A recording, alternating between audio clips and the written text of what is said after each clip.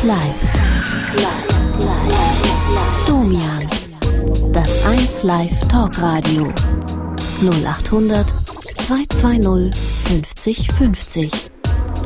Domian. Im WDR Fernsehen und bei 1 Live. 0800 220 50 50. So, ihr Lieben, ich hoffe, ihr hattet ein gutes und ein schönes Wochenende. Wir sind wieder da. Willkommen bei Domian, willkommen beim 1 Live Talk Radio am Montag, in der Nacht von Montag auf Dienstag, wie immer eine freie Themennacht. Also, ihr seid herzlich willkommen. Wenn ihr gerne mit mir reden wollt, dann meldet euch unter der bekannten Telefonnummer oder mailt unter domian.wdr.de. Der erste Anruf für heute Nacht heißt Jürgen und Jürgen ist 44 Jahre alt. Hallo Jürgen, guten Morgen. Hallo Domian. Weswegen rufst du an? Was ist dein Thema? Mein Thema ist, krebskrank. Ich habe ein sogenanntes Narbenkarzinom. Also von, von Narbe. Von, Von Narbe, ja. Ja, mhm. Ich muss vielleicht kurz ausholen. Ich bin mit viereinhalb Jahren, äh, habe ich äh, mir eine Verbrennung zugezogen am Rücken und Gesäß. Also besser gesagt eine Verbrühung. Mhm. Ja. Ich bin in einen Bot, äh, Bottich mit kochend heißer Waschlauge Mhm. gefallen. Also so Waschlauge, Persil, Omo eben halt. Und seitdem habe ich halt äh, diese großflächigen Narben Mhm. und äh, wie gesagt, der Rücken ist davon zum großen Teil betroffen und das Ja. gesamte Gesäß. Ja. Und, Und- genau über den Steißbein hatte ich immer schon eine sogenannte instabile Narbe. Ja. Das heißt eine Narbe, die immer wieder aufgegangen ist. Mhm. Die war dann immer wieder auch mal eine Zeit lang geschlossen. Mhm. So die letzten 10, 15 Jahre war es eigentlich immer so, dass, dass ich, äh, ja, dass diese Stelle offen war. Das heißt, von, von, dieser, von diesem Unglück, als du Kind warst, viereinhalb Jahre äh, al- alt warst, hast du diese, diese schweren Ja. äh, Nachwirkungen zu ertragen gehabt. Genau, Ja. Bis jetzt, wo du 44 bist. genau. Mhm. Und daraus ist letztendlich jetzt äh, in den letzten Jahren, zwei, drei Jahren halt dieses Karzinom, ein Tumor, Also ein Krebs, ein, ein Narbenkrebs ja, äh, kann, man entstanden. so, kann man so bezeichnen, Ja. ja, äh, ist entstanden. Mhm. Und es, die Diagnose habe ich schon so seit anderthalb, zwei Jahren gehabt. Ja. Ich darf, darf ich mal eben unterbrechen? Ja. So als ich frage dich natürlich als Laie, weil ich darüber nicht Bescheid weiß, schon gar nicht über, über diese Art äh, des Krebses. Ähm, als man das diagnostiziert hat, an und in der Narbe, konnte man das nicht sofort äh, rausoperieren? Also es hat ihm halt sehr lange gedauert, bis überhaupt ein Arzt äh, diese Diagnose gestellt hat. Ah ja. Mhm. Weil ich war bis dato immer nur bei Hautärzten, Mhm. die dann, wenn ihm halt diese offene Stelle war, mit Salben versorgt haben. Ich habe sie dann regelmäßig, regelmäßig tägliche Verband, äh, Verbandswechsel gemacht und so. Das kann also sein, dass, dass, dass du diesen Krebs schon sehr lange hattest, Kann sein, ja. ohne dass du es weißt, ohne ja, dass es ist aber eben diagnostiziert halt wurde. von den Haus, äh, Hautärzten ist niemand auf die Idee gekommen, dass, äh, dass es ihm halt auch was Schlimmeres sein Mhm. könnte und hat mich dann auch nie, äh, man hat mich auch nie entsprechend zu äh, Fachärzten weiter. Ja. Wie, wie geht es dir denn jetzt heute aktuell? Aktuell sieht es so aus, wie gesagt, ich habe vor ungefähr zwei Jahren die Diagnose bekommen, Mhm. habe dann, muss ich, das, den Vorwurf muss ich mir auch selber machen, ziemliche Angst vor, dem, äh, vor, vor einer Operation gehabt, Mhm. bin dann von einem Arzt bzw. einer Klinik zur anderen Mhm. gegangen, habe dann jetzt letzt, letztes Jahr im Mitte November, am 18. November, ist dann die Operation durchgeführt worden. Mhm. Mhm. Mir ging es vorher schon lange Zeit sehr, sehr schlecht. Ja. Äh, ich seit seit Sommer letzten Jahres liege ich eigentlich nur noch im Bett Mhm. die meiste Zeit des Tages, weil ich nicht sitzen kann. Also im November ist dann eine Ja, Operation. Die äh, Operation durchgeführt mhm. worden. War die insofern erfolgreich, dass man Nein. sagen, nein. Nein, das war eben halt das, äh, die Sache. Das heißt, der Krebs ist nach wie vor Der da. Tumor ist weg, man wollte den Tumor wegschneiden Mhm. und das Ganze, das Ganze wurde dann mit sogenannter Spalthaut vom linken Oberschenkel, die Mhm. wird dann die Haut abgeschabt Ja. und dann transplantiert. Wurde, also damit wird das dann wieder gedeckt. Mhm. Und äh, man hat mir schon im Krankenhaus gesagt, dass zwei Prozent des Tumors nicht entfernt werden konnten, weil da schon der Knochen angegriffen war. Das heißt, der Tumor ist jetzt wieder äh, neu gewachsen. Ja, und in sehr kurzer Zeit, innerhalb von acht bis zehn Wochen, eigentlich wieder auf die alte Größe. Hast du Chemotherapien machen müssen? No, nein, das ist jetzt genau der Punkt. Äh, ich ging ja erstmal davon aus, dass, dass nach der Operation das Gröbste überstanden war. Mhm. Wobei man sagen muss, die Operation war natürlich auch schon ein ziemlich harter Ein, äh, Eingriff, weil mhm. ich nur noch äh, knapp über 40 Kilo wog. Mhm. Äh, ich wiege jetzt im Moment aber auch nicht mehr. Mhm. Und man hat mir dann gesagt, die Operation wäre einigermaßen gut verlaufen, bis halt auf diese 2% äh, Tumorzellen, die man nicht entfernen mhm. konnte. Dann war ich drei Wochen in, in einer Reha. Mhm.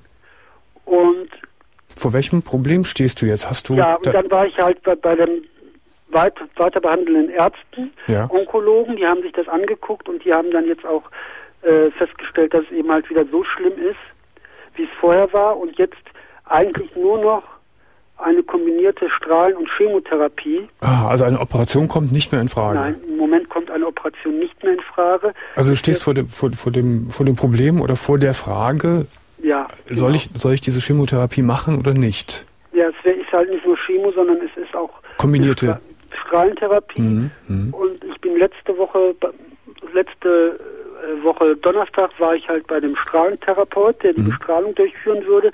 Der hat mich über die möglichen Nebenwirkungen aufgeklärt. Mhm.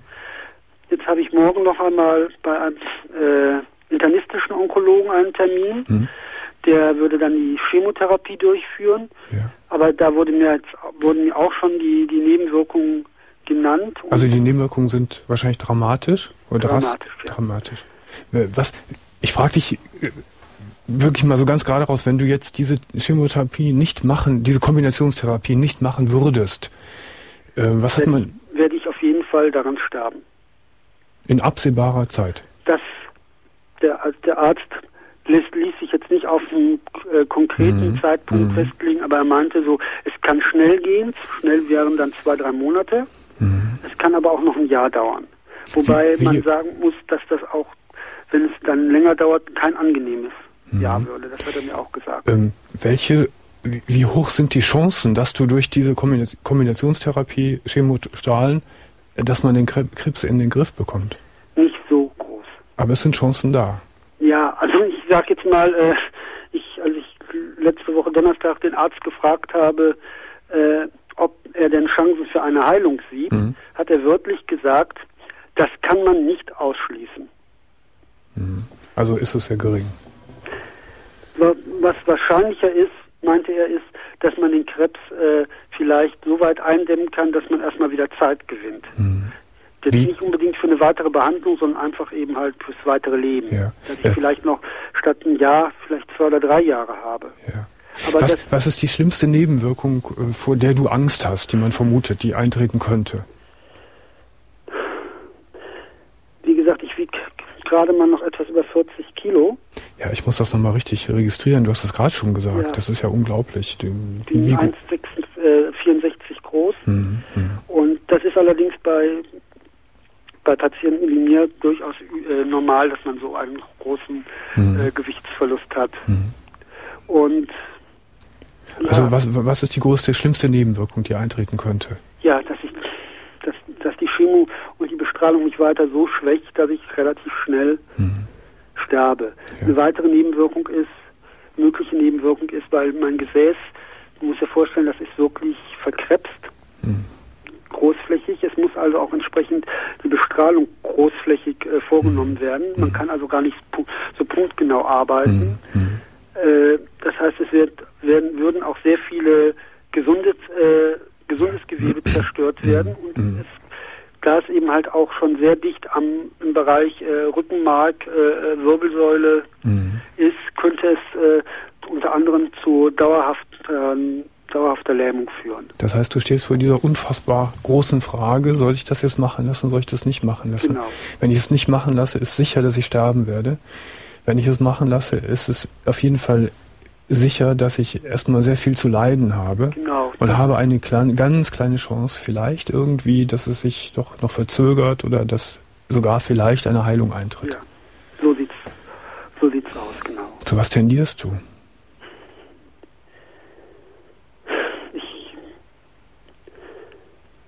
ich bin hin und her gerissen immer wieder. Das ist. Wie stark ist dein Lebenswille?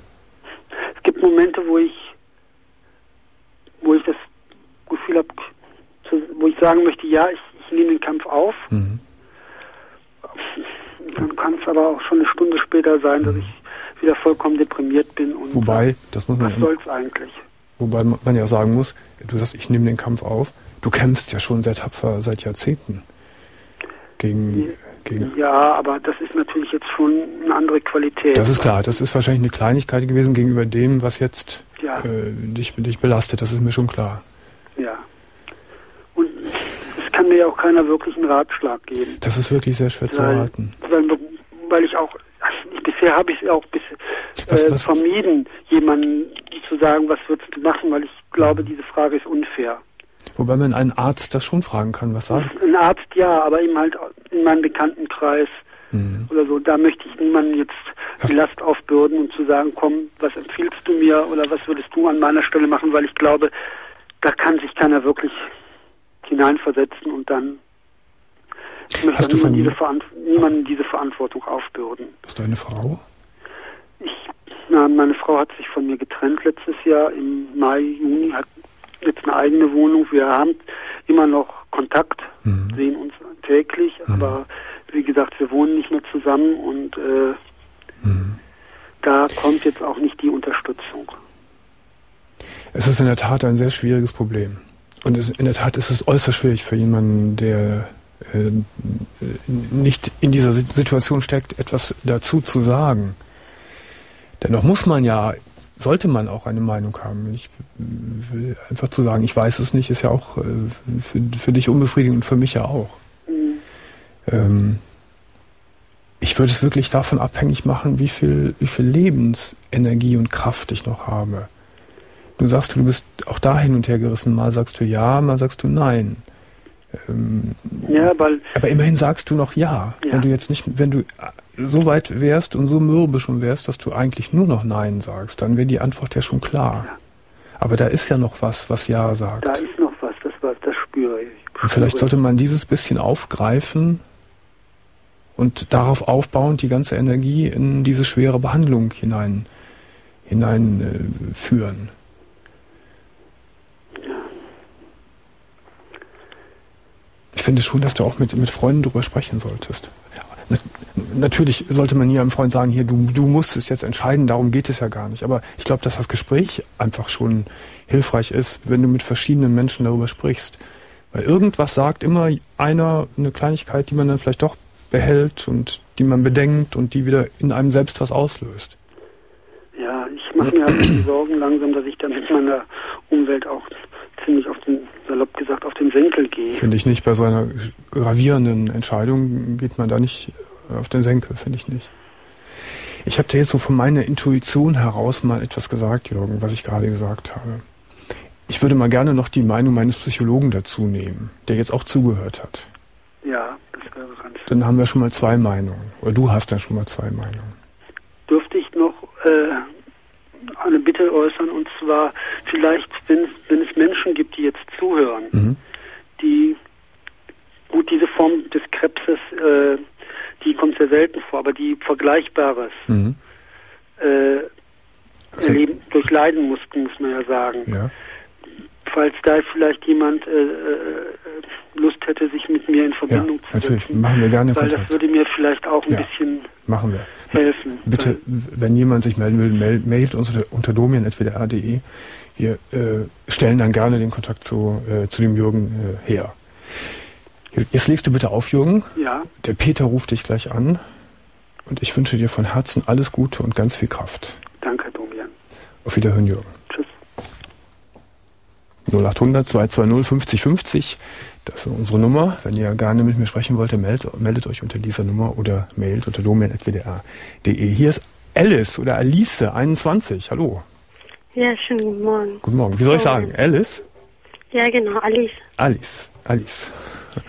Ja. Alice, um was geht's? Also bei mir geht es um Beziehungskraft sozusagen. Ja.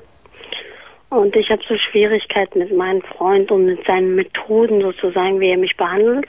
Ja. Wie lange bist du mit deinem Freund schon zusammen? Also seit über ein Jahr. Ein Jahr. Und wie alt ist dein Freund? 22. Ja. So, und was Ja. ist das jetzt im Einzelnen? Im Einzelnen ist es so, dass er mich anbrüllt. Okay, das ist harmlos. Das ist ja nicht so schlimm. Der schreit mich Auch an und der droht mir auch manchmal, wenn ich etwas nicht tue, dann passiert dies oder jenes. Ja. Hat er dich auch schon geschlagen? Ja, das ist schon öfters. Also einmal pro Woche kommt das so immer vor. Das sagst du so, beiläufig. Bist du nicht em- empört darüber oder verletzt? Nat- Traurig? Ja, ja, schon am Anfang war ich total traurig darüber, weil er vor allen Dingen nicht eingesehen hat, dass es schlimm ist. Der hat es, Das fand er normal. ja, der hat es Mhm. mir jetzt auch so sozusagen ein, so beigebracht, dass es für mich jetzt auch schon normal ist. Wann, wann, wann schlägt er dich? In welchen Situationen? Also wenn ich nicht das tun will, was er sagt, zum Beispiel manchmal wegen Kleinigkeiten, wenn ich meinen Tee nicht trinken will. Wenn du deinen Tee nicht trinken willst, dann, Ja, dann schlägt er dich. Wie, wie schlägt er dich? Schlägt er dich ins Gesicht? Äh, da, wo es um Tee ging, hat er mich auf den Kopf gehauen. Ach, Oder Er, er haut dich auf den Kopf und sagt, trink deinen Tee. so. Ja, so ungefähr. Obwohl so. ihm das ja völlig egal sein könnte, ob du deinen Tee trinkst oder nicht. Ja, das, ja, schon, aber das sagt er nur, weil er gerade mal schlechte Laune hat oder Mhm. so. Hat er dich auch schon so schlimm geschlagen, dass du verletzt warst? Ja, dass, dass ich mich nicht so gut bewegen konnte, wegen, weil ich Rückenschmerzen hatte und so. So, jetzt hast du mir gesagt, er, er, er schreit dich an, er schlägt dich. Was noch? Ähm, ist, das ist aber nicht so oft vorgekommen, dass er hat mir irgendwelche Fragen gestellt, die ich nicht beantworten wollte. Zum Beispiel? Äh, über über klein, über meine Vergangenheit zum Beispiel. Und äh, bei mir ist es so, ich habe ein Problem damit, mir mich Dinge zu merken, die schon ein, zwei Jahre her sind oder vier, fünf Jahre. Und er meint, ich hätte da in der Zeit irgendwas Schlimmes mit Jungs und so gehabt und keine Ahnung.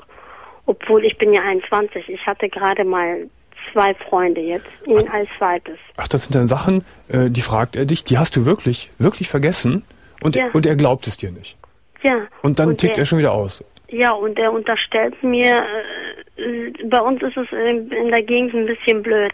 Manche Jungs, wenn die deinen Namen kennen, behaupten die gleich, die hatten was mit dir. So ist es eigentlich bei Jungs normal. Aber es ist nicht so. Und das versteht er irgendwie nicht. Äh, gibt es noch etwas, was dich sehr, sehr nervt und ärgert? Ja, weil, ähm, also wenn ich ihn halt so Fragen, die ich beantworten will, äh, hat er mir mal die Klamotten so zerrissen, musste ich so nackt bleiben, bis ich das erfüllen konnte, was er sozusagen wollte. Du musstest nackt bleiben. Du Ja, musstest er dann mir die Klamotten zerrissen und vor lauter Wut, weil du da irgendwas nicht beantwortet hast, was du nicht beantworten, nicht mal konntest, obwohl du es hättest beantworten wollen. ja, Äh, darfst du äh, alleine weggehen? nee, das hatte, äh, wenn ich zum, wenn ich meine Familie oder so besuchen gehen will, dann, dann kriege ich wieder Ärger mit ihnen. Er sagt zwar geh, und wenn ich wiederkomme, dann Und wenn Da du mal, er, ich habe mich mit Jungs getroffen und keine Ahnung. ich glaube, ich muss gar nicht fragen, äh, weil ich die Antwort schon ahne, aber ich frage es trotzdem. Du, du darfst nicht alleine in eine Diskothek gehen. Das natürlich auf gar keinen Fall. Auf keinen Fall. das keinen sowieso nicht. Darfst du mit Freundinnen mal irgendwie in einen Café gehen oder ein bisschen bummeln oder so? Nee, auch nicht. Also ich hatte, ich hatte eine, eine gute Freundin und er meint, ja, die wäre so schlecht und die hätte so viel Kontakt mit Mhm. Jungs und So, Alice, jetzt hast du mir eine ganze Menge erzählt. Da kriege ich schon wieder so einen Hals, wenn ich das höre, muss ich dir sagen. Jetzt frage ich dich mal, du bist eine junge Frau, eine erwachsene junge Frau von 21, warum bist du mit dem zusammen? warum? Weil äh, meine Familie das mitbekommen hat, dass ich mit ihm zusammen bin. Mhm. Und äh, bei uns ist es so halt, dass man dann nicht unbedingt, äh, wenn es die ganze Familie weiß, dass man dann nicht unbedingt den Partner wechselt, sagen wir es mal so. Was heißt bei uns? Äh, Also bei uns südländischen Raum. aus dem südländischen Raum. Mhm. Ja. Bist du, äh, sind deine, deine Eltern oder äh, deine Ver Verwandten türkischer Herkunft oder du selbst türkischer Herkunft oder Ich nicht, du nicht? Sondern? sondern mein Freund. Dein Freund, ah, du nicht. Du bist, Ja, genau. du, du, bist du bist Deutsche, hast auch deutsche Eltern. Nee, ich bin, ich bin auch eine Südländerin. Auch eine Südländerin. Na Ja. gut. Mhm. Ähm, also da ist schon so ein gewisser Druck da, dass man auch nicht ganz einfach dann als Mädel sagen kann, okay, ich gehe jetzt wieder. Ja, und ich habe auch Angst, irgendwie alleine zu sein. Ja. Aber Weil, wieso? äh, äh, da, sozusagen, ich, ich weiß nicht, ich, also ich bin nicht davon überzeugt, aber viele andere Leute sagen, dass ich gut aussehe und keine Ahnung und wie Mhm. toll und so ich bin und vom mhm. Äußeren jetzt. Mhm. Aber ich, ich denke das selber nicht. Es ist nicht so, dass ich keinen abkriege sozusagen. Aber es geht nur darum, dass, äh, dass ich Angst habe, dass ich äh, nie den richtigen Partner finden werde oder dass, dass ich auch wirklich keinen mehr abkriege sozusagen. Ja, ja die Angst habe ich natürlich nicht, äh, wenn ich mir dein Alter angucke. Ich hätte nur die Angst, wenn ich, wenn ich mir vorstelle, äh, dass du das alles so weiterlaufen lässt. Mir ist schon durchaus klar, äh, dass äh, so in, in deinem Umfeld das nicht so einfach ist, zu sagen und tschüss. Ja. Aber letztendlich wird es darauf hinauslaufen müssen, wenn du ein glückliches Leben suchst und du suchst ein glückliches Leben. Ja, ich glaube, ich werde das aber niemals finden. Das ist meine Hoffnung ist erlischt. Eigentlich, eigentlich so lebe ich so, als wäre ich schon tot das Nur irgendwie eine Gestalt läuft durch die Gegend, so komme ich mir vor. Aber das ist ein schlimmer Satz, den du da sagst. Der müsste ja, ich weiß, dass das ein schlimmer Satz ist, aber es ist wirklich so. Ja, aber der, der muss, der rüttelt mich jetzt auf, noch, noch klarer dir ins Gewissen zu reden und der sollte dich auch, auch aufrütteln. Wenn du so einen Satz sagst, ich habe das Gefühl, ich bin eigentlich schon tot und laufe als so als Gestalt darum. Das heißt für mich, dass du so in der tiefen Seele so unglücklich bist, dass du gar keine Hoffnung mehr hast. Hab ich auch nicht. Das ist aber schlimm, da muss man aber was ändern gegen. Ja, aber das ist nicht so leicht. Das ist nicht so leicht. Nicht aber es ist möglich. Es ist nicht leicht, aber es ist möglich. Es ist ja, auch für dich möglich. Meine Mutter weht dann auch immer. Ich hatte ja schon mal einen Freund vor ihm. Hm? Und den habe ich ja verlassen und ich bin dann mit denen zusammengekommen. Und jetzt, wenn wir uns streiten, sagt die auch immer so böse Sachen zu mir und so. Ich glaube, ich glaube Alice, auch, auch wenn die Mutter böse Sachen sagt, letztendlich geht es um dein Leben und dein Glück. Und wenn man als 21-jährige junge Frau ein paar Freunde hatte, ist das absolut okay. Und wenn du jetzt wieder einen verlässt, äh, das ist so, das ist doch normal. Man sucht so lange, bis man den gefunden hat, mit dem man gut leben kann.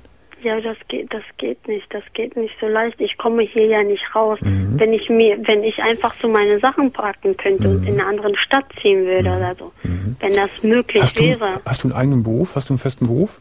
Äh, das geht bei mir nicht. Das kann ich nicht machen. Hast du einen Beruf? Nee, das konnte ich nicht anfangen. Ich habe meine Schule beendet und ja. Und von was lebst du?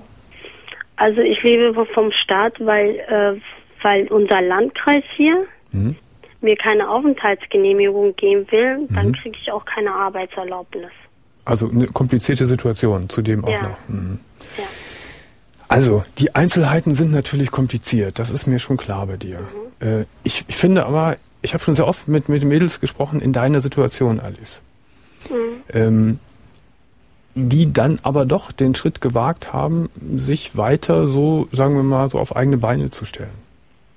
Und das ist ein ganz, ich weiß, dass das ein verdammt harter Weg ist, aber das ist die einzige Chance, die du hast, dass du Ausschau hältst nach deinem eigenen Weg und dein Glück selbst suchst und dich nicht von anderen bestimmen lässt. Ja, aber wenn man nichts zum, zum Halten hat, wo man sich halt festhalten kann, mhm, mhm. wenn man keine Perspektive sieht, dann mhm. geht das auch nicht. Mhm. Das ist nicht so leicht. Ich wenn weiß. man wenn man niemanden hat, der, der einem dabei hilft oder so, oder mhm. Wir werden dir erstmal gleich eine Adresse geben oder einige Adressen, wo äh, du Kontakt knüpfen kannst zu Frauen, die so ähnlich äh, in einer ähnlichen Lage waren oder sind wie du. Mhm. Da kannst du dich austauschen und da gibt es bestimmt einige sehr interessante und für dich auch hilfreiche äh, Tipps, vor allen Dingen von Leuten, die dich richtig verstehen, die auch äh, aus, aus, aus seinem Umfeld kommen. Okay. Dann legst du bitte auf und wir rufen dich gleich nochmal an, ja? Ich wollte noch was sagen. Bitte. Also deine Stimme finde ich ja ganz toll. Das ist ja nett. Deine Stimme ist so schön und deine Sendung auch. Sehr lieb, dass du sagst. Dankeschön, okay, Alice. Wir rufen dich gleich wieder an. Tschüss. Okay, tschüss. So, meine Lieben, an dieser Stelle ein wenig Post. Die Postecke. Post haben wir bekommen von Thorsten, der schreibt, hallo äh, liebes Domian-Team, ich wollte mich einfach mal bei euch bedanken. Eure Sendung ist einfach super. Wenn ich mich in der Woche um 0.30 Uhr in meinem LKW aus den Federn schwinge, habe ich zwischen 1 Uhr und 2 Uhr immer das beste Frühstücksfernsehen, das es gibt. Macht weiter so, euer Thorsten. Dann schreibt Mike, hallo Domian, du wirst zugemüllt mit Lob und Lobeshymnen. Mich nervt das total. Aus reinem Voyeurismus äh, bleibe ich manchmal nachts bei dir hängen. Ich finde, du solltest dich mit deinen Meinungen zurückhalten und mir geht es tierisch auf den Zeiger, immer wieder über 60-Jährige zu hören, die von ihrer gerade erwachten Sexualität erzählen. Sowas muss man nicht hören. Ich finde das ekelhaft. Lieber Mike, du hast es ja selbst schon ausgedrückt. Sowas äh, musst du auch nicht hören. Äh, da gibt es ja immer noch den berühmten Knopf.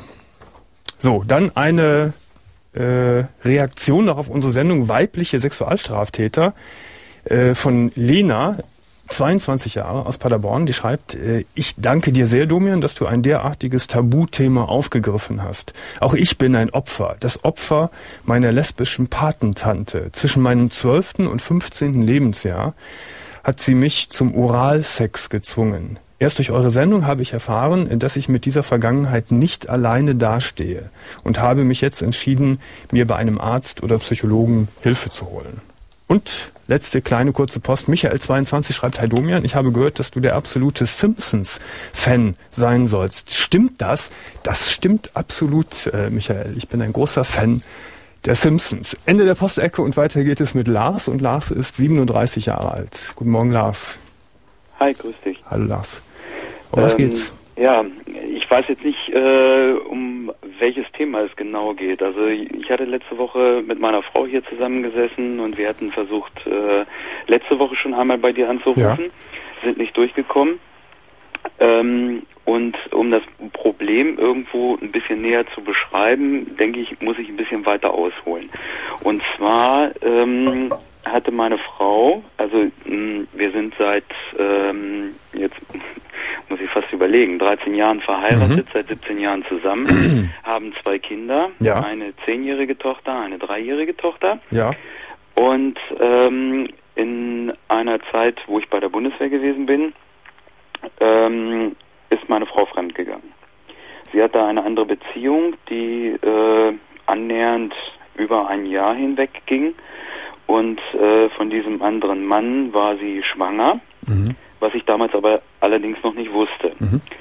Ähm, als sie merkte, dass sie schwanger wurde, äh, hat sie mir unter falschen Voraussetzungen, nämlich äh, als wir damals äh, gebaut haben, beziehungsweise eine Wohnung gekauft haben, gesagt, unter finanziellen äh, Gesichtspunkten können wir uns das Kind nicht leisten, das zweite Kind. Also die erste Tochter war bereits geboren, die war da etwa neun Monate alt, zehn Monate alt.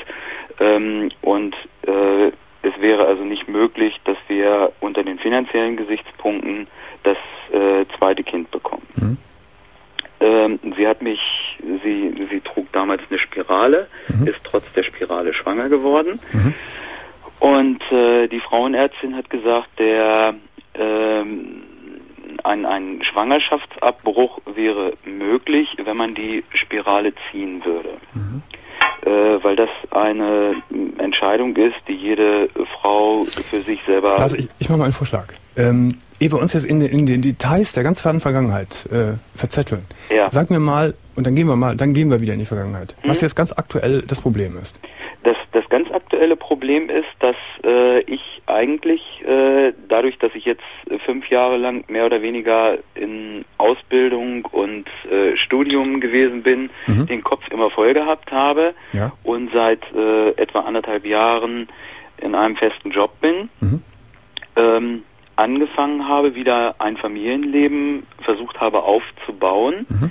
Äh, aber durch diese äh, durch dieses durch dieses Familienleben genau da wieder in diese Vergangenheit zurückgeworfen worden bin und auf diese Beziehung, die sie damals gehabt hat, auf diese Schwangerschaft, auf diesen Schwangerschaftsabbruch hm. äh, zurückgekommen bin ähm, und einfach das nicht verarbeiten konnte. Ja. Äh, und Was? ihr irgendwann dann ja. ihr, und ihr irgendwann dann äh, gesagt habe, dass über diese gesamte Zeit hinweg ich das alles in mich hineingefressen habe mhm. Und äh, mit dieser Situation nicht klargekommen bin und ihr gesagt habe, dass eine Beziehung unter diesen, unter diesen Umständen, wie sie damals stattgefunden hat, äh, nicht mehr möglich ist.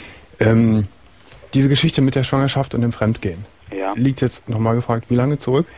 Die liegt jetzt etwa sechs Jahre zurück. Sechs Jahre liegt die zurück. Mhm. mhm. Ähm, in diesen sechs Jahren, wie war denn eure Beziehung da? Ähm, dadurch, dass ich, äh, wie gesagt, äh, in Ausbildung gewesen bin, Ja, sehr, sehr weit weg gewesen bin, Mhm. äh, im Studium gewesen bin, äh, bezog sich das eigentlich auf eine reine Wochenendbeziehung. Na gut, Das aber heißt- immerhin, Wochenende ist Wochenende. Wie lief das denn? Sechs Jahre und sechs Jahre sind sechs Jahre. Wie habt ihr euch denn da verstanden?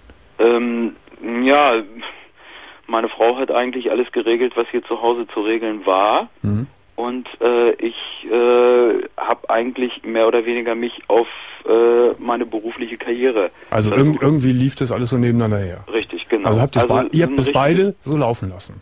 Ja. Ihr habt das beide. Warum jetzt gerade? Warum thematisierst du es gerade jetzt? Äh, ich thematisiere es jetzt, weil vor äh, etwa zehn Wochen ich jemanden kennengelernt habe, ähm, mit dem ich eine Beziehung angefangen habe. Mhm. Mit einer Frau, die, äh, die ich kennengelernt habe äh, über ein Hobby von mir, Ja. das Motorradfahren. Weiß deine Frau davon? Meine Frau weiß davon. Die weiß ja. davon. Und was Wir sagt- haben was sagt äh, sie? darüber gesprochen Mhm. ähm, und ich habe festgestellt, dass äh, mir diese Frau, die äh, jetzt in mein Leben getreten ist, äh, mir sehr, sehr, sehr viel bedeutet. Das Also sagen heißt- wir, sagen wir ganz, ganz, ganz grob, du bist verknallt. Ja, Dadurch kommt dir die ganze Vergangenheit noch mal ein bisschen, noch mal ein bisschen mehr oder ein bisschen viel hoch. richtig, genau. Äh, Und dieses Verknalltsein führt dazu, dass, dass du dich eigentlich noch, noch mehr von deiner Frau distanzierst. Richtig, Liebst, genau. liebst du denn deine Frau noch? Nein. Hm. Wie lange schon nicht mehr? Ähm, Im Grunde genommen hat es angefangen, als sie mir wirklich äh, gestanden hat, dass sie äh, damals äh, diese Beziehung geführt hat und dass sie äh, halt mich über ein Jahr lang hinweg betrogen hat. Aber schlimm genug, dass es dann sechs Jahre hast schleifen lassen. Richtig. Und dass du das war, ein- das war ein Fehler von mir, den Ja. gebe ich auch zu. Und Den den, an, jetzt den, den Anlass brauchst, nämlich, dass du dich neu verliebt hast, um mal grundsätzlich darüber nachzudenken. Ähm, das würde ich nicht so unbedingt sagen. Ich glaube, der Anlass war eigentlich eher der, dass ich diese anderthalb Jahre äh, oder oder dieses Jahr, äh, dieses letzte Jahr Revue passieren lassen habe, wo ein bisschen Ruhe bei mir im Mhm. Leben eingekehrt ist. So, jetzt hast du, jetzt hast du ganz entscheidende Sachen gesagt. Einmal gibt es da in der fernen Vergangenheit etwas, eine Verletzung, äh, mit der du bis heute irgendwie nicht zurande kommst. Richtig. Diese Verletzung hat zur Folge gehabt, dass du deine Frau nicht mehr geliebt hast. Richtig, Äh, Und da ist auch, das ist auch alles nicht wieder neu ent, entfacht worden. richtig. So, und jetzt hast du sogar eine neue, eine neue Verliebtheit, verspürst du. Ja. Das sind ja alles, alles äh, Zeichen, dass, äh, dass die Weichen gestellt werden müssten in Richtung Trennung. Richtig. Und äh, jetzt, und das ist ja nicht der, das Einzige, was passiert ist, sondern ähm, durch diesen Beziehungsstress, durch diesen, ähm, ich möchte schon fast sagen, Trennungsstress, weil wir äh, uns eigentlich auch schon getrennt haben, denn äh, wir wohnen zwar noch in einer Wohnung, leben aber in getrennten Räumen Mhm. ähm, hat das eine Auswirkung auf meine Frau gehabt, äh, nicht nur auf meine Frau, sondern auf mich auch, dass wir extrem abgenommen haben. Und in dieser Zeit, in der wir extrem abgenommen haben, hat meine Frau einen Knoten in der Brust festgestellt. Mhm. Mhm. Dieser Knoten in der Brust äh, ähm, wurde von verschiedenen Ärzten diagnostiziert als äh, gutartige Drüsenveränderung. Mhm.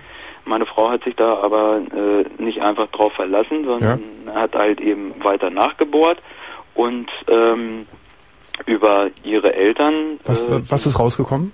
bitte? Ist, ist es was Bösartiges oder ist es, was ist, Gutes? es ist äh, leider, muss man sagen, etwas Bösartiges gewesen. Ist es Nein. im Griff jetzt? Äh, man hat äh, ihr den Tumor entnommen. Ja. Man hat noch einen zweiten Tumor entdeckt. Auch den hat man entnommen. Das Ganze passierte jetzt gerade vor etwa drei Wochen. Ja. Also, das heißt, also da, da ist noch, noch eine Problematik dazugekommen, nämlich Richtig, auch noch, äh, genau. die Frau ist krank. Richtig. Äh, heißt das, dass, dass, dass da auch noch so ein schlechtes Gewissen jetzt bei dir hinzutritt? Ich kann die jetzt nicht, ich, ich kann mich jetzt nicht letztendlich von ihr trennen. Ähm, ich, ich will nicht sagen, dass ich mich nicht von ihr trennen kann, denn eigentlich im Grunde genommen habe ich mich schon von ihr. Eben, so wie du es gerade erzählt hast, ist es eigentlich schon längst passiert. Es ist eigentlich schon längst Mhm. passiert. Mhm. Die Problematik, die jetzt äh, familiär auftritt, ist die, also dass äh, dieser Tumor entnommen worden ist. Nachdem der Tumor entnommen worden ist, äh, wurde festgestellt, dass auch das um, umliegende Gewebe um den Tumor herum bösartig war, von Mhm. Krebszellen durchsetzt war. Eine zweite Operation vor 14 Tagen war erforderlich, Mhm. die äh, dazu geführt hat, dass äh, ihr die gesamte rechte Brust entnommen worden ist. Was hat das jetzt für dich alles für, für, für eine Konsequenz? Ja, die Konsequenz, dass ich nervlich eigentlich äh, mehr oder weniger am Ende bin, genauso wie meine Frau, Mhm. dass äh, ich ein, ein äh, Aber du willst, du, aber du willst, du willst deinen Weg doch weitergehen, oder? Ich will, natürlich will ich meinen Weg weitergehen. W- Wie würdest du denn das Problem formulieren, vor dem du jetzt stehst? Das Problem, vor dem ich jetzt stehe, ist eigentlich äh, eine Regelung zu finden, ähm, ein, ein, äh, eine Sicherheit für die Kinder zu finden, Mhm, eine, mhm. eine adäquate äh, Trennung herbeizuführen, Ja. ähm, in der ich und meine neue Partnerin Ja. äh, vernünftig mit meiner Frau Ja. und den Kindern umgehen Ja, das ist doch, das ist doch ein, ein, genau das richtige Vorhaben.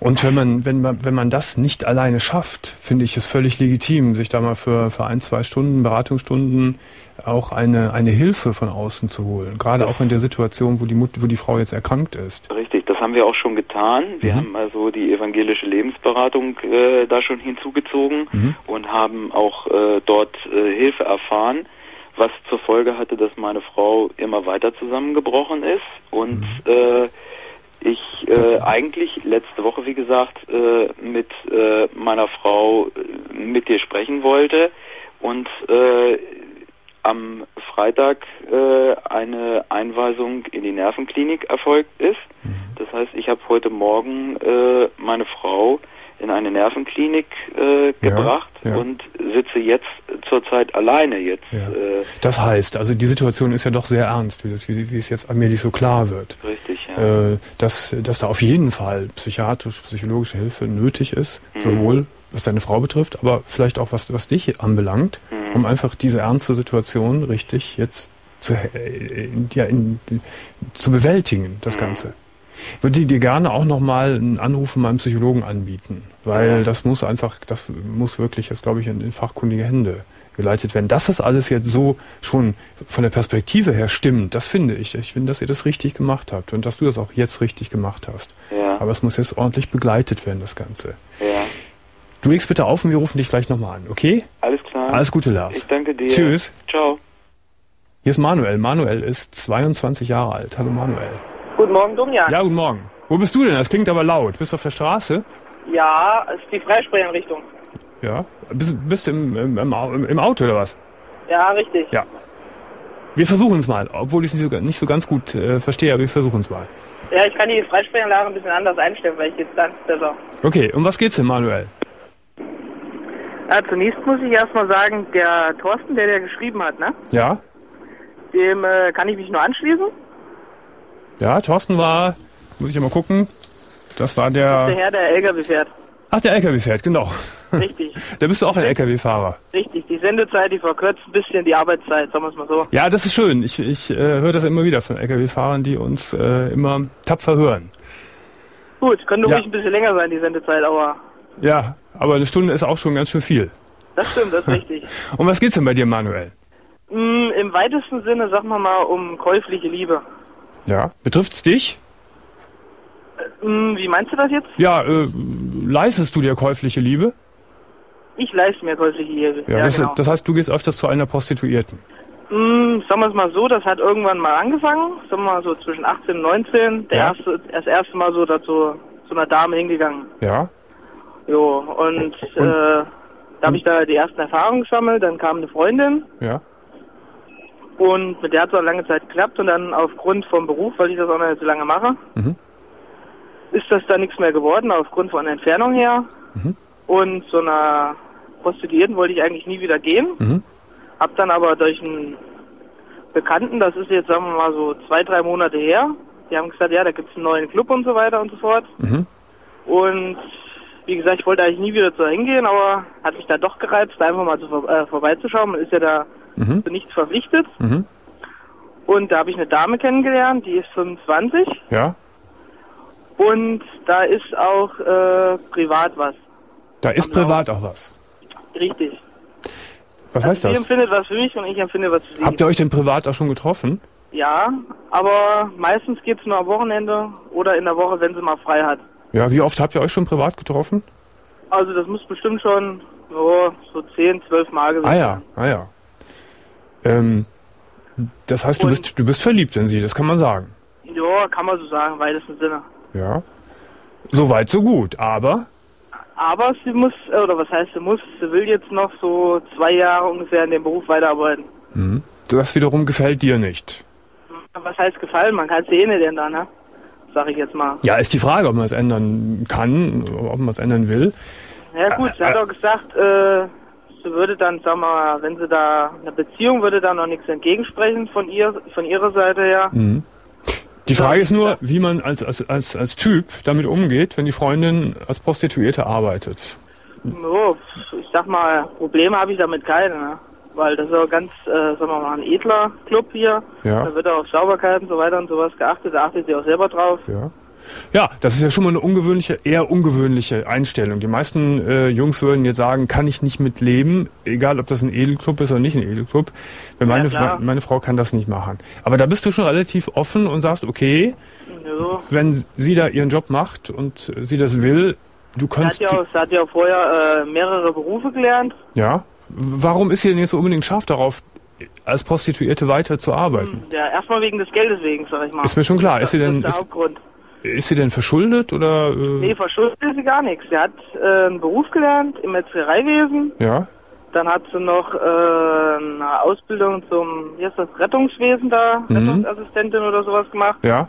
Und hat aber in beiden Berufen keine Lehrstelle in ihrem Wohnraum, äh, Wohnraumnähe Also eine Anstellung dann hinterher Anstelle gefunden. gefunden. Aha, ja. Und dann ist sie durch eine Mhm. Bekannte da hingekommen und das Geld ist der Hauptgrund, damit sie da weiterarbeitet. Aber Glaubst du ihr denn, dass, dass, dass, äh, dass, dass sie wirklich auch an dir interessiert ist und dass da schon Gefühle im Spiel sind? das glaube ich ihr. Sonst wird sie nicht äh, jedes Mal anrufen, ob ich am Wochenende Zeit habe. Mhm. So, jetzt, es, es könnte so sein, dass, dass ihr noch, noch mehr zueinander kommt. Du bist Lkw-Fahrer und sie ist Prostituierte und sie will es auch weiter bleiben. Kann das, ist das für dich eine Perspektive? Kann man so nicht sagen, weiß man nicht, ne? Mhm. Aber du rufst mich an. Warum hast du mich angerufen? Ja, wie soll man das erklären, ja? Weil ich weiß jetzt nicht genau, äh, ob man da so dranbleiben soll oder ob man sich anderweitig umschauen soll, ne? Ja, Manuel, ist eine Frage. Ist, ist eine schwierige Frage. Wenn du in die Frau ver Richtig. wenn du ich, mein, ich bin ja auch noch jung, ne? Wir Ja, mal ja wenn, du in, wenn du in die Frau wirklich verliebt bist, so, und sie in dich auch, und wenn da wirkliche Gefühle im Spiel sind, so, finde ich schon, dass man dranbleiben sollte.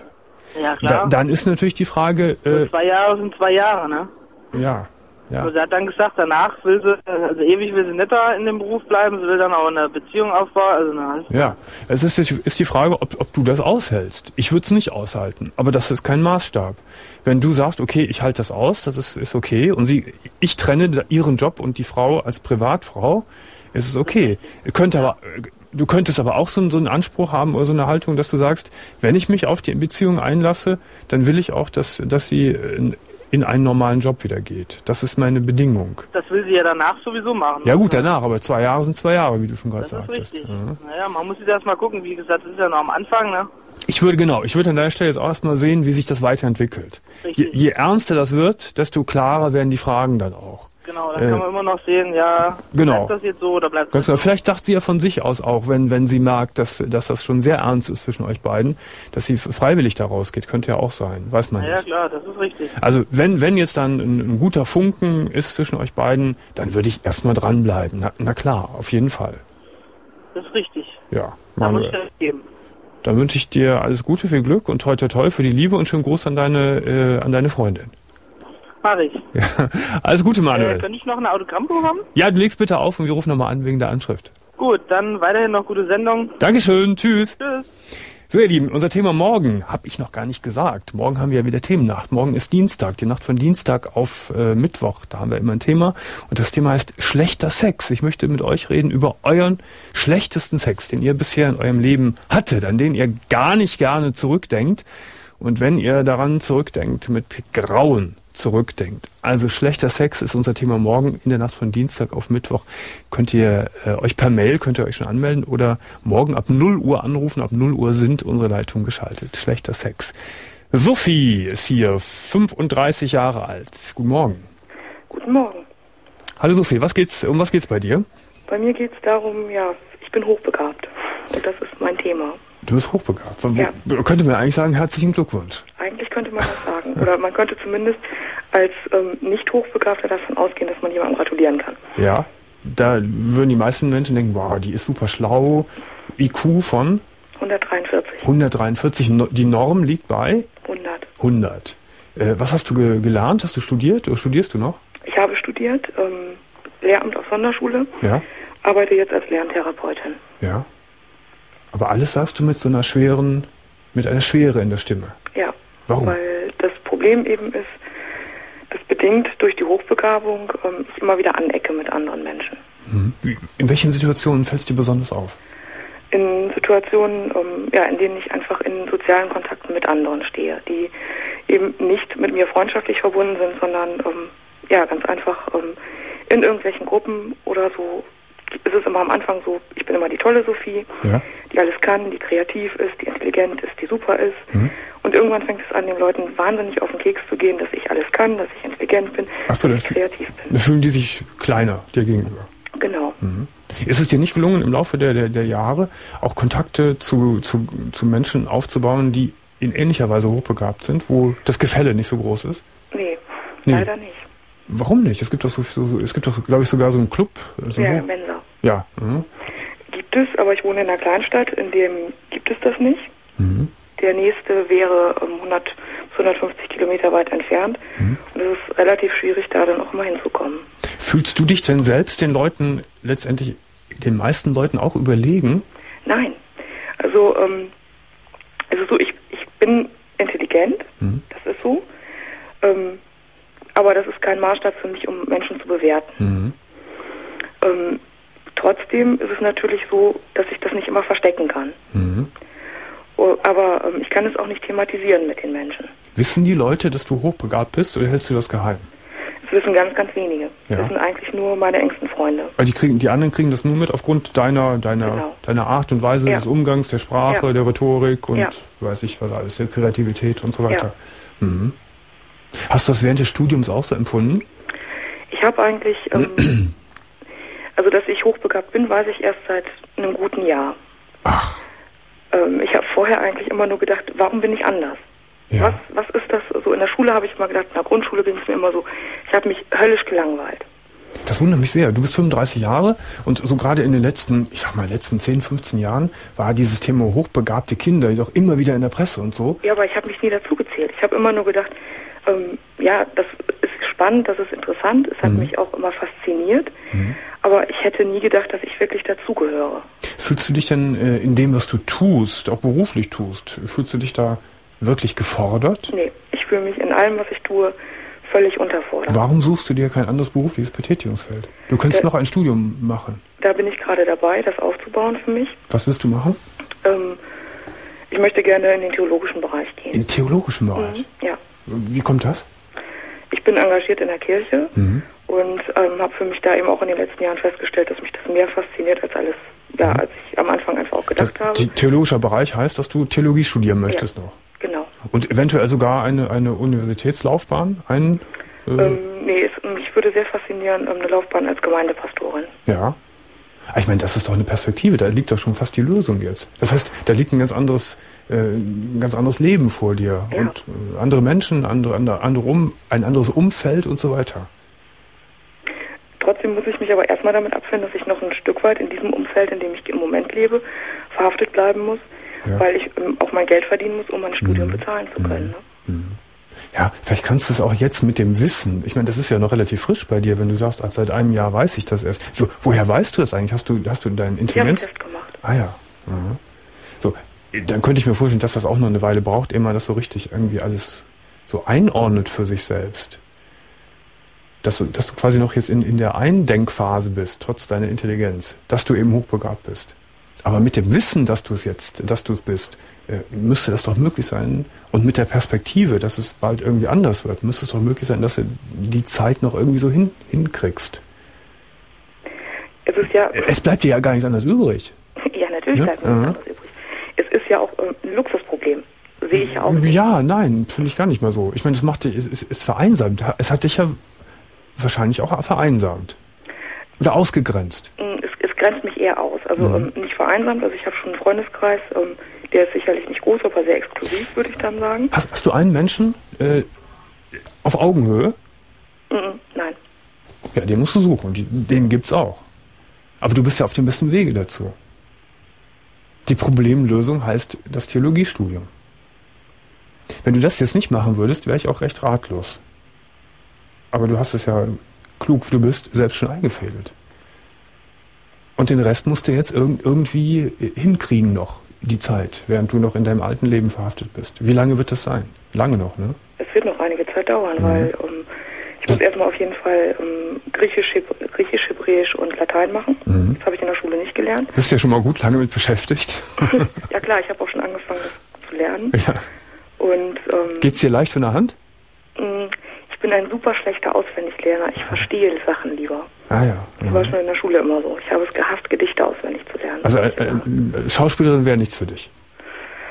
Wahrscheinlich eher nicht.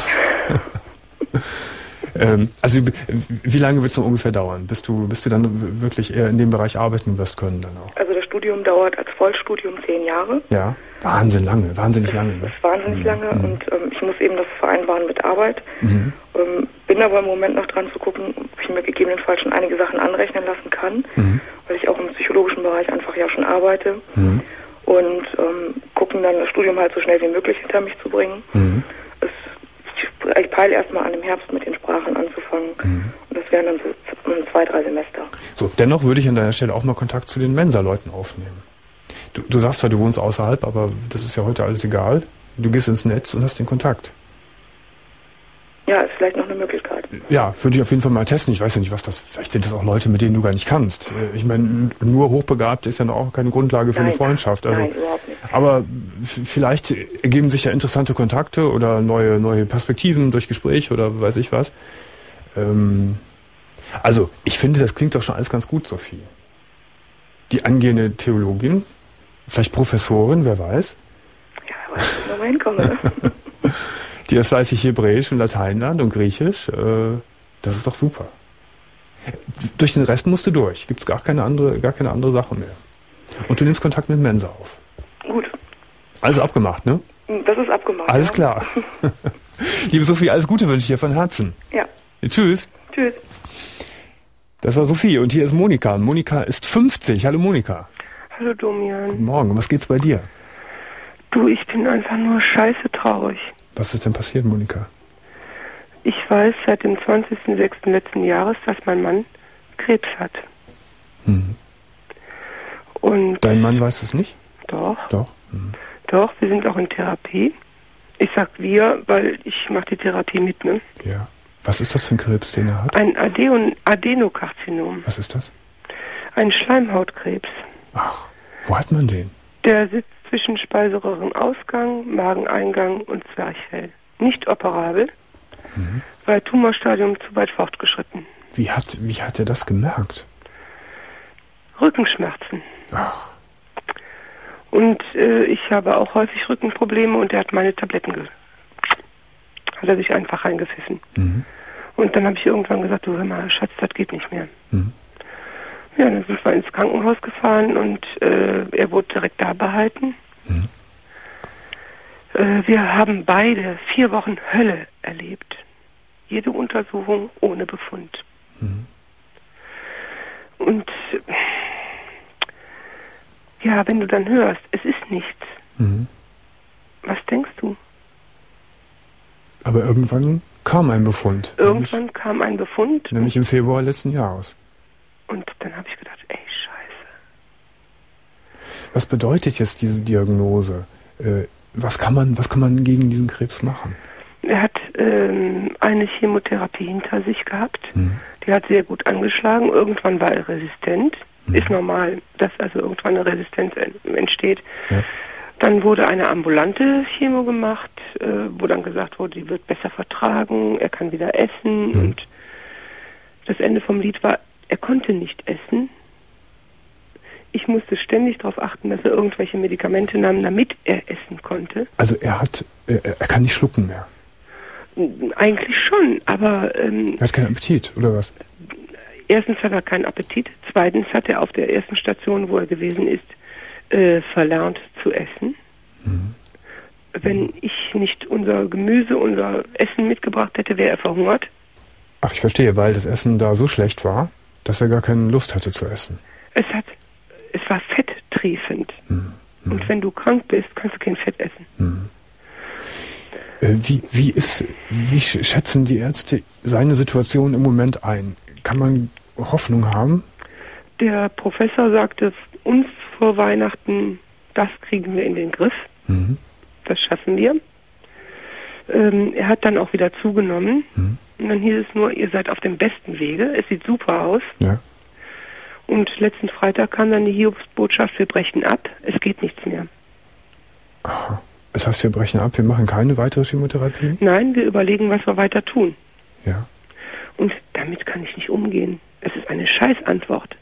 Ja, was, was, was bedeutet die konkret? Dass, dass sich der Krebs so weit ausgebreitet hat, dass man jetzt neu nachdenken muss? Oder, ja, oder was? richtig. Ich denke schon. Ist er auf äh, andere Organe auch übergesprungen? Nein, ähm, die Metastasen sitzen auf den Knochen. Auf den Knochen, nicht in den Knochen. Und es begann mit der Schleimhaut. Es begann mit der Schleimhaut, ja. Hat er jetzt Beschwerden beim Schlucken oder hustet er oder? Er hustet sehr viel und er hat einfach nur eine Aversion gegen das Essen. So, jetzt, jetzt hängt ihr quasi in der Luft. Man hat euch gesagt, dass es hat sich extrem verschlimmert. Nein, es hat sich überhaupt nicht verschlimmert. Es hat, ist nichts gesagt worden. Es hat sich verschlimmert. Der eine Wert ist hoch, der andere ist runter. Der eine Arzt sagt, Tumormarker, scheiße, vergiss es.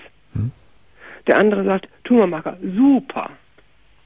Ja, das verstehe ich jetzt nicht. Was, was, das heißt, das sind wieder widersprechende Ärzteaussagen. Es widersprechen einfach.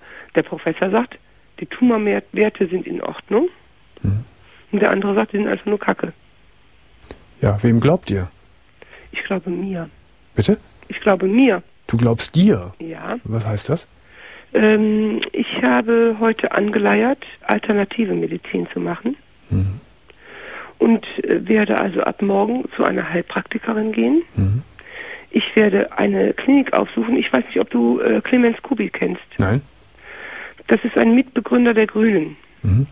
Und der hatte einen absolut schweren Unfall, wo äh, ihm diagnostiziert würde, er würde zeitlang seines Lebens äh, querschnittsgelähmt bleiben. Der läuft wieder Marathon. Bitte? Der läuft Marathon. Jetzt, heute wieder? Wieder, ja. Mhm. Mhm. Und äh, der setzt auf die Selbstheilungskräfte. Ja. Da, da gibt es natürlich viele Geschichten und, und, und viele hoffnungsvolle Dinge, natürlich auch Dinge, die, die äußerst skeptisch beurteilt werden können. Äh, ich bin ja jemand, der mir eher so an die Schulmedizin glaubt, oder was heißt glaubt, der zuerst erstmal alles abklären lässt. Also wenn jetzt zwei Ärzte wieder, wieder, si- sich widerstrebende, sich widersprechende Aussagen machen, da würde ich jetzt einen dritten aufsuchen. Das werden wir auch tun. So, und je nachdem, was dann rauskommt, klar, natürlich sollte man auch auf die anderen Methoden äh, zurückgreifen. Durchaus äh, gebe ich dir recht. Ähm, aber da, was da der richtige Weg ist, ist ungeheuer schwierig zu entscheiden und ist so individuell von dem Einzelfall abhängig. Gut ist natürlich so eine, so, so eine Aktivität auch, weil die Aktivität auch Hoffnung wieder, wieder mit sich bringt. Ich mache im Moment eine Psychotherapie und Mhm. meine Psychotherapeutin sagte zu mir, Sie sind ein Macher. Mhm. Sie müssen machen. Mhm. Ich gehe vor die Hunde, wenn ich nichts tun kann. Mhm. Was sagt denn dein Mann jetzt zu den neuen Überlegungen? Ähm, er sagte, er möchte keine neue Chemo, Ja? wenn er nicht die Gewissheit hat, dass sie anschlägt. Ja, gut, das ist, Kann ich verstehen. ja, ist eine klare ist Aussage. okay. Ja. Das heißt, dann, darauf, auf dieser kleinen Aussage kann man ja schon mal sich dann auch orientieren äh, im, im Bereich alternative Medizin. Richtig. Dennoch könnte, wie, also das wollt ihr ja sowieso machen, nochmal eine dritte ärztliche Meinung einholen. Ich werde jetzt zum Professor Diel gehen, Ja, Uniklinikum Köln, Mhm. und einfach bei ihm mal nachhorchen. ja. Und Es, dann, weißt du, ich, ich kann einfach nicht akzeptieren, dass man sagt, äh, nein, dass man einen Menschen einfach als Versuchskaninchen benutzt. ja, äh, das wird ja auch so schnell keiner machen. Äh, diesen Vorwurf kann man ja auch so einfach nicht machen. Das ist ja auch immer sehr schwierig. Ähm, Monika, die Sendung Ich ist gleich höre rum. ich höre ich höre es. Schön, dass wir miteinander sprechen können. Ich wünsche dir alles Liebe, alles Gute und toi toi toi für deinen Mann. Alles Gute. auch alles Gute. Tschüss. Danke, tschüss. In der Technik heute Gero Kuntermann und Annette Bastian. Morgen heißt unser Thema schlechter Sex. Ich möchte gerne mit euch über euren schlechtesten Sex sprechen, den ihr je in eurem Leben hattet. Ab